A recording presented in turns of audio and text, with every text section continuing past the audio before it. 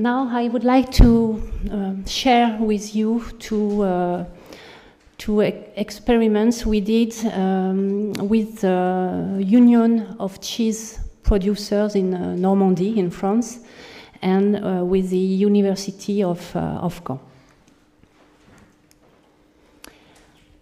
First, um, we all know that there is substantial microbial diversity in uh, raw milk. In a recent review of Montel et al., um, more than 100 microbial genera and more than 400 microbial species have been um, recorded in raw milk, including more than 90 uh, gram-negative bacterial species, more than 90 gram-positive, catalase-positive bacterial species, more than 70 uh, yeast species, but also lactic acid bacteria, about 60 different species, and filamentous fungi. We also know that part of microbial diversity brought by raw milk expresses itself during cheese making. Thank you, Ronan. Uh, we know that at least some native microorganisms um, originating from raw milk grow in it and then in curd and in cheese during cheese making and ripening. And also, probably some of these native microorganisms from raw milk establish themselves in the cheese making environment, um, being able uh, uh, after to inoculate cheese.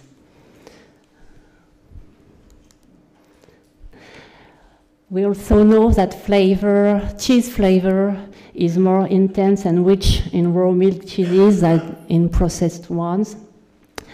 And we know that native microorganisms from raw milk can uh, exhibit interesting activities, including antipathogenic activities that is that has been uh, described to be higher in traditional cheeses than in processed ones. The last point for this introduction is that we know that probably microbial diversity is decreasing in raw milk, both at uh, quantitative uh, at the quantitative at the quantitative level, but also maybe uh, at qualitative level. In industrial, in industrialized, sorry, European countries, um, we, I believe that microbial counts uh, have decreased, have been reduced by two to three logs uh, during the last 30 years. Uh, during the 80s, uh, at the beginning of the 80s in France, raw milk had currently um, had usually counts um, as high as 1 million cells per milliliter, and now we have less than uh, 10,000 and sometimes less than 1,000 cells per milliliter. You have here an example of um, micro microbial data um, registered in raw milk in Normandy during two different periods. In uh, 1992, uh, the data are in dark color, and more recently in pale color. You have different microbial groups. And we can see that for some of them, some lactic acid bacteria, including lactobacillus, uh, uh, lactobacillus, sorry, for yeast, for Pseudomonas, um, although there is a wide variation between samples, the mean level didn't change. But regarding the one special uh, genus of lactic acid bacteria, the genus Lactococcus, using the same culture media in uh, in few years, the level was reduced by one log. From a, uh, qualitative point of view, we also observed, at least in Normandy, but also generally in uh, European countries, that some um, microbiological traits, some phenotypes disappeared. A good, a good example, in my opinion, is uh, the, um, the lactic acid bacteria Lactococcus lactis subspecies cremoris, which can be formed uh, using, uh, using DNA uh, based analysis. So the, the, genomic that, the genomic species is present in raw milk, but is, uh, its traits change, and we can no longer can no longer find this uh, phenotype in raw milk, uh, suggesting that this bacteria changed. Because uh, cheese, traditional cheese producers in Normandy complain of insufficient flavor in, in at least some of their cheeses, um, we collaborated to develop two regional projects in order to enhance and better harness microbial diversity. And I'm going to show you these two examples. The first way we, we chose to work um, aimed at harnessing microbial diversity by preserving it in situ in raw milk. And I'm going to make a link with the talk of Marie-Christine. Uh, our aim was to uh, analyze, to, to test the effect of uh, practices of dairy farmers on quantitative microbial diversity in raw milk. To, to do this, uh, 130 farms were selected in the Normandy area. Uh, these farms, um, the, the, milk from this farm is collected to make uh, Camembert de Normandie cheese. So the, in each farm, uh, two sam two uh, samples were obtained. The first milk sample was obtained when cows were um, housed indoors, and the second one when cows were uh, grazing in pasture lands. During this project, uh, a survey uh, on farm was done via personal interviews of dairy farmers in order to record their main uh, management practices regarding uh, feeding of dairy cattle, hygiene practices uh, before, during, and after milking, for example. raw milk samples were analyzed in order to um, number 10 culturable microbial groups uh, standard plate count in order to have an idea of the microbial load of milk samples. Several uh, lactic acid bacteria were also investigated, including Lactococcus, Lactobacillus, and Leuconostoc genera. Uh, what I'm going to, to, call cheese ripening bacteria was also uh, counted, cheese ripening bacteria include actinomycetes like Brevibacterium, Corynebacterium, for example, and also the family Staphylococcaceae. Yeast, including the yeast-like fungus Geotrichum candidum, were also investigated as well as molds, gram-negative bacteria, and among gram-negative bacteria, Pseudomonas were specifically counted. Regarding practices, 37 variables, uh, including one quantitative variable, were retained for, stati for statistical ana analysis, during which uh, the logarithm to base 10 of microbial counts were studied as functions of these 37 variables by using a linear model.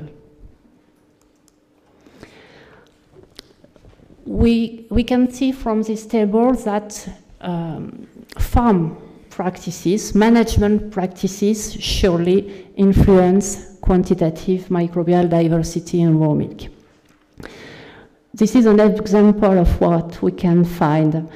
Um, you have on the left column the practices identified by, by the statistical analysis. And the, the, way, the way to read this table is the following one. If you take the number of milkings in the bulk tank, some farms had four milkings in the bulk tank when the milk was collected, and some other only two milkings. And with four milkings compared to two, we uh, could see um, higher counts of lactococci, lactobacilli, and yeast, for example. What is interesting, in order to rely my talk with the one of Marie-Christine, is that, for example, teat preparation appeared as an important uh, practice related to raw milk microbiology. Uh, in farms um, uh, using pre-dipping of teats compared to no pre-dipping, we observe lower levels of lactococci and yeast, which we can consider as useful microorganisms for cheese making. Also, post-dipping compared to no post-dipping uh, was associated with lower levels of ripening bacteria and of leuconostocs. Something appeared also with the cow breed and configuration of the uh, milk line. Um, milking machine with a milk line uh, dead-ended compared to a looped uh, milk line uh, were associated with higher levels of lactococci, lactobacilli, and leuconostocs, maybe due to biofilms forming um, in an easier way when we have dead-ended milk line. Um, I'm not sure that each specific practice is the reason why we have such differences. Don't forget that we have to consider the global management practices. But this uh, illustrates that practices can influence microbiology. In the second step, we, um, we aimed at um, studying the effect of milking practices, more specifically, on qualitative microbial diversity in raw milk. So we selected 30 dairy farms among the 130, uh, based on different uh, management practices used by the dairy farmers. And in these farms, raw milk samples composed of two milkings were collected. We also uh, the air of the milking parlor by um, collecting various uh, volumes of air and impacted, impacting them on uh, culture media.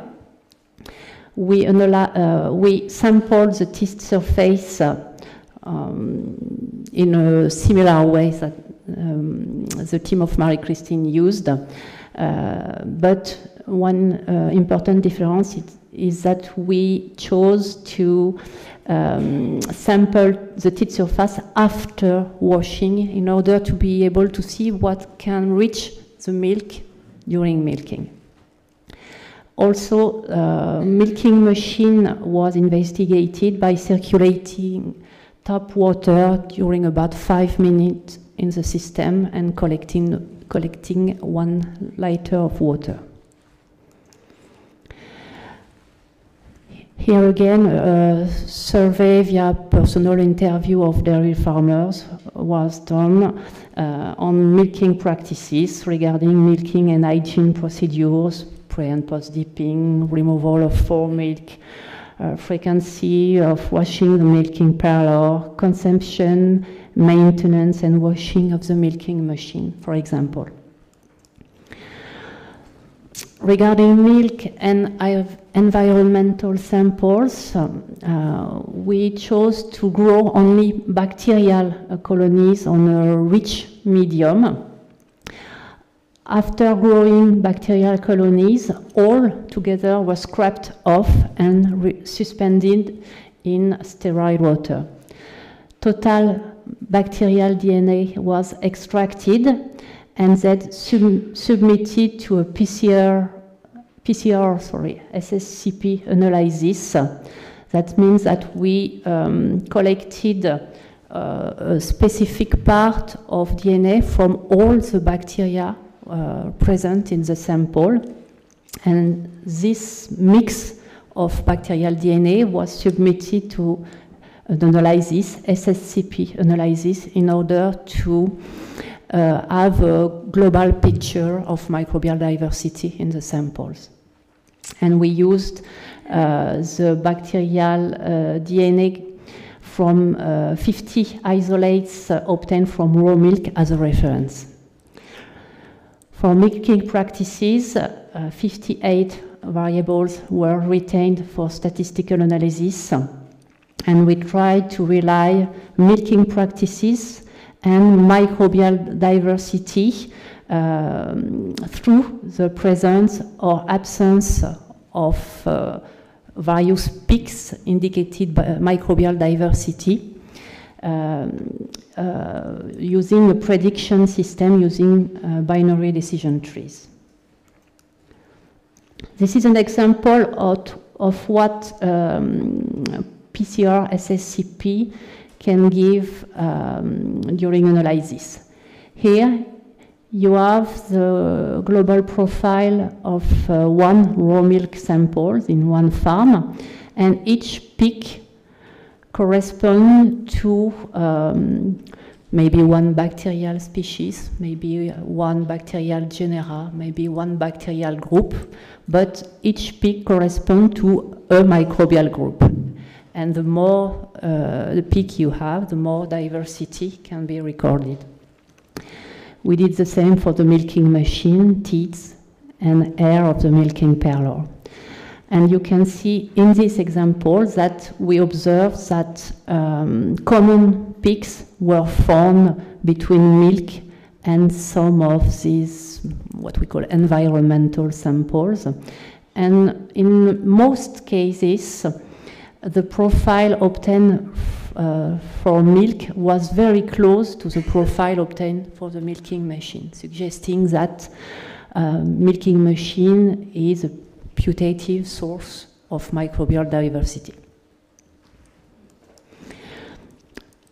We also um, observed that milking, we also confirmed that milking practices influence qualitative microbial diversity in raw milk. Here again, some examples, but but as you can see, again, post-dipping of teats appeared as an important variable. And uh, for example, we observed that uh, when a farm used post-dipping of teats, um, milk tended to be um, to be uh, in milk. There was uh, no detection of Staphylococcus saprophyticus, Lactococcus lactis of Microbacterium maritypicum, for example, compared to farm in which post-dipping was not uh, practiced. Cleaning of the milking machine appeared also as an important um, practice influencing microbial diversity, uh, in influencing actinomycetes, staphylococcus, but also gram-negative bacteria. Also, the maintenance of the milking machine appeared to have a, a role uh, in link with the length of tubes and pipelines, for example, or um, uh, with um, the quality of maintenance of the milking machine. And a, a poor maintenance of the milking machine uh, was associated with uh, more diversity. So I don't tell that we, we must uh, have a bad maintenance, but it's, it underlines a link between practices and microbiology again. The, the, the second project uh, aimed at harnessing my aims because it's, it's just starting, yes, three, three slides.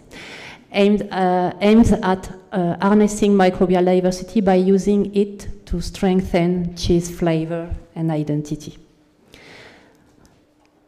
Thank you. Um, particularly when um, cheese makers produce um, traditional cheese with labels like um, PDO, Protected Designation of Origin. Uh, there is a special concern with autochthonous microorganisms cheese producers in Normandy at least uh, also uh, claims that there is lack of microbial diversity in commercial cultures. So given this um, consideration, we, uh, we developed um, a project between the University of Caen and the Union of Normandy PDO cheese makers. We, we have uh, at the university a collection of more than uh, 9,000 microbial isolates uh, obtained from various dairy environments in Normandy. In milk, cream, butter, cheese, but also on the teat surface of cows, uh, uh, in pasture lands, etc. Uh, some of these isolates are, um, for, for some of these isolates, the owner is uh, the University of Caen, but for most of them, it's a co-ownership associating the university and the Union of Normandy PDO cheesemaker. Just very quickly to give you an example of the microbial diversity within this collection, you have most isolates are probably Lactococcus will probably belong to the Lactococcus genus. We also have many Geotrichum candidum, Lactobacillus, and some actinomycetes, Enterobacteriaceae, yeast, etc. And this is, um, before the conclusion, my uh, last slide. Uh, this project started in July. Yes. And the uh, objective is to create a center for dairy microbes transfer from the university to the cheese producers, uh, offering, uh, offering to cheese product producers um, whenever they are industrial cheese producers, but also farmers, the same, uh, um, the same microbial resources and the objectives are a secure preservation of these microbial resources, in-depth characterization of microbial isolates. These two, first, these, these two first steps are time consuming but not so difficult to do. The, the third step is more difficult. Um, the, the longer, uh, in a longer term perspective, um, microbial resources should be at the disposal of cheesemakers to strengthen the link of Normandy cheeses with ge their geographical area. This last point uh, raises many questions, at least to me. Are we able to define, when I say we, cheese producers and uh, academic people, are we able to define what uh, what special flavor traits can be associated with uh, what special bacterial groups, I don't know. So in, to conclude, um, I believe that it is possible to support dairy farmers in order to shape and sustain microbial diversity in situ in raw milk. Uh, the second point is that microbial diversity of raw milk may be harnessed directly or indirectly to make cheeses that represent their own geographical area. And then a question, an open question, I would be pleased to share with you to uh, exchange views during these two days. How can science help the cheese makers defining what is an appropriate diversity? Thank you for your attention. I would like to thank my, my colleagues um, and also Marie-Christine Montel and Céline Delbès for, the, for their help in uh, SSCP analysis. Thank you very much.